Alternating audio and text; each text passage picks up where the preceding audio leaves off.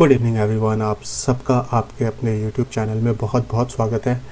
आप लोगों का बहुत बहुत शुक्रिया बहुत बहुत धन्यवाद।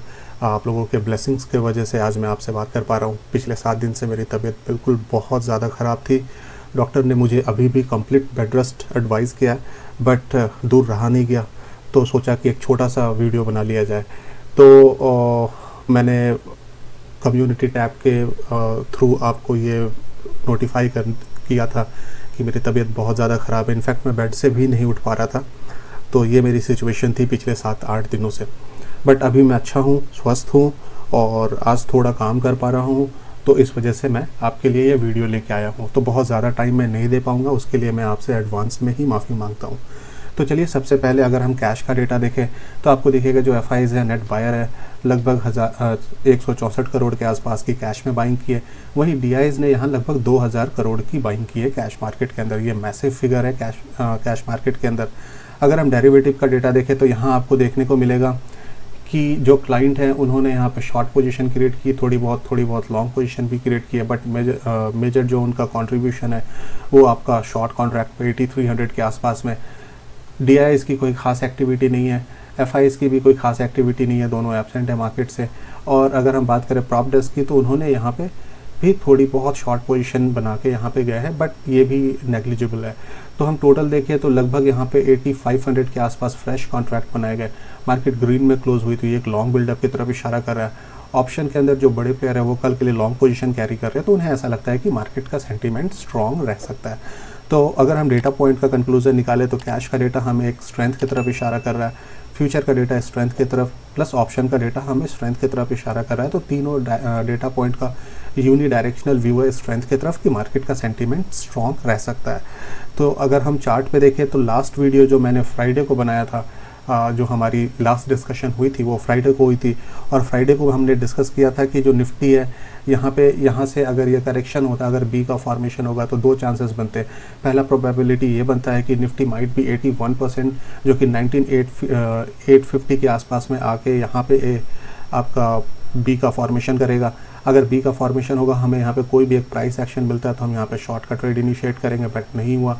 ये ऊपर आ गया। फिर सेकंड कंडीशन ये था हमारा कि हो सकता है अगर यहाँ पे नहीं होता है तो फिर 111 परसेंट पे करेगा, जो कि स्ट्रॉन्ग भी बनेगा।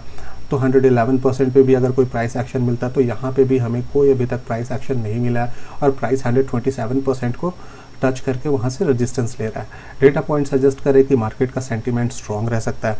तो फ़िलहाल हम डेटा पॉइंट के साथ जाना प्रेफर करेंगे। अगर फ्लैट खुल के 127 परसेंट के ऊपर ये निकलता है, कहीं पे भी मान लीजिए 20 वन सिक्सटी नाइन के बीच लेके वन वन एटी नाइन के बीच में कहीं भी खुलता है और एक बार ये इसको ब्रेक करता है मतलब ट्वेंटी वन नाइन्टी तो एक बार हम इसे लॉन्ग कर सकते हैं।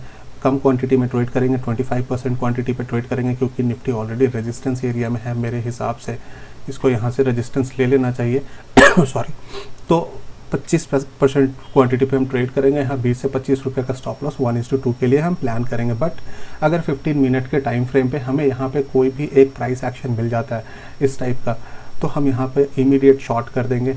जो स्टॉप लॉस रखेंगे, हम स्विंग के ऊपर का रखेंगे और नीचे वन इज़ टू के लिए प्लान करेंगे। जो ट्रेड होगा, वो पूरा हंड्रेड परसेंट क्वान्टिटी पर हम प्लान करेंगे। बैंक निफ्टी की बात करें तो बैंक निफ्टी में भी हमने कुछ सेम डिस्कस किया था कि बैंक निफ्टी में भी आपका बी का फॉर्मेशन हो सकता है तो बी का फॉर्मेशन या तो एटी वन परसेंट पे होगा, जो कि forty five eight forty three का लेवल था, आप देख सकते हैं। और जो अगर स्ट्रॉन्ग भी बनेगा तो ये हंड्रेड इलेवन परसेंट तक आ सकता है, जो forty six six seventy four के आसपास में होगा, जो एक नया ऑल टाइम हाई होगा बैंक निफ्टी का। तो बैंक निफ्टी ने 81 परसेंट पे भी कोई वैसा अभी डबल बॉटम का डबल टॉप का हमें यहाँ पे कोई भी ये नहीं दिया था कॉन्फर्मेशन अभी ये 111 परसेंट की तरफ़ जा रहा है। तो अगर यहाँ पे हमें कोई डबल टॉप का फॉर्मेशन दिखता है 15 मिनट के टाइम फ्रेम पे तो हम शॉर्ट कर सकते हैं स्विंग के ऊपर का स्टॉप लॉस नीचे में वन इज़ टू के लिए प्लान करेंगे। या फिर अगर मान लीजिए ये फ्लैट खुलता है, और फ्लैट खुलने के बाद अगर ये इसके ऊपर निकलता है हंड्रेड के ऊपर forty three forty six three sixty nine seventy तो एक बार हम यहाँ पे लॉन्ग कर सकते हैं पचास में से पचास रुपये के स्टॉप लॉस और वन इज़ टू टू के लिए हम यहाँ पे प्लान कर सकते हैं ट्रेड को। अगर हम स्टॉक्स की बात करें तो जो अच्छा लग रहा है चार्ट पे, अपोलो टायर। यहाँ पे एक सेलिंग प्रेशर में हमें ये दिख सकता है। तो अपोलो टायर को हम शॉर्ट करेंगे। अगर ये गैप अप खुला तो हम इसे इमीडिएट अवॉइड कर देंगे। हम और इंटरेस्टेड नहीं है। बट अगर ये फ्लैट खुलने के बाद 376 के नीचे ट्रेड करता है तो हमें एक अच्छा मोमेंटम दिख सकता है, क्योंकि नेक्स्ट सपोर्ट यहाँ पे तो हमें फ्लो में अपना टारगेट मिल जाएगा। तो हम 376 के नीचे शॉर्ट करेंगे ऊपर में। दो से ढाई रुपया का stop loss one is two के लिए नीचे में हम प्लान करेंगे। इंडिगो में भी एक ब्रेकडाउन होता हुआ दिख रहा है। काफ़ी टाइम से इस रेंज के अंदर ये ट्रेड कर रहा था, अब ये रेंज के बाहर निकल रहा है। तो अगर कल मान लीजिए फॉलो थ्रू आता है टू थ्री नाइन ज़ीरो के नीचे एक बार हम इसे शॉर्ट कर सकते हैं। ऊपर में दस से पंद्रह रुपये का स्टॉप लॉस नीचे वन इस टू के लिए हम प्लान करेंगे। कैश का स्टॉक व्हील्स अगर आपने टेलीग्राम ज्वाइन नहीं किया तो आप इमीडिएट ज्वाइन कर लीजिए, क्योंकि वहाँ पर मैं कंटिन्यूसली कैश का स्टॉक्स देता रहता हूँ। हालाँकि ये लास्ट प्रीवियस सेवन डेज़ से मैं वहाँ पर भी अवेलेबल नहीं था, क्योंकि मैं बिल्कुल इस कंडीशन में ही नहीं था। बट वहाँ पे मैंने जितने भी स्टॉक शेयर किए थे, वो मैक्सिमम स्टॉक लगभग 15 परसेंट से लेकर 25 परसेंट का रिटर्न दे रहे हैं। तो आप वहाँ पे जाकर चेक कर सकते हैं। मैंने वहाँ पे मैसेज करने का भी ऑप्शन दे रखा है। तो आप, अगर आपके मन में कोई क्वेश्चन हो तो आप मुझसे डायरेक्टली मैसेज कीजिए। मैं उसका आंसर वहाँ पर करूँगा। और प्लस आप वहाँ पर जाकर स्टॉक्स देख सकते हैं कि जितने भी स्टॉक्स मैंने दिए, वो कैसा परफॉर्म कर रहे हैं। तो व्हील्स एक अच्छा यहाँ पे हमें दिख रहा है तो 800 के ऊपर ये अच्छा मोमेंटम में हमें दिखना चाहिए तो हम इसे 804 के ऊपर बाई करेंगे। 803 804 के ऊपर बाई करेंगे। नीचे में हम पाँच से छः रुपये का स्टॉप लॉस रखेंगे, ऊपर वन इस टू के लिए हम प्लान करेंगे। इंडोको इंडोको रेमेडी ये मैंने आपको 316 पे वहाँ पे दिया था टेलीग्राम पे। आप वहाँ पे जाके देख सकते हैं कि मैं आई एम बाइंग एवरीडे की डिप इन इंडोको तो वहाँ पे आप देख सकते हैं जो कि लगभग मैं 316 के लेवल पे इसे बाई का बाई वहाँ पे दिया हुआ था। तो ये भी एक अच्छा मोमेंटम में दिख रहा है। यहाँ पे रेजिस्टेंस है, जहाँ पे ये मल्टीपल टाइम टेस्ट किया है, यहाँ पे भी टेस्ट हुआ है।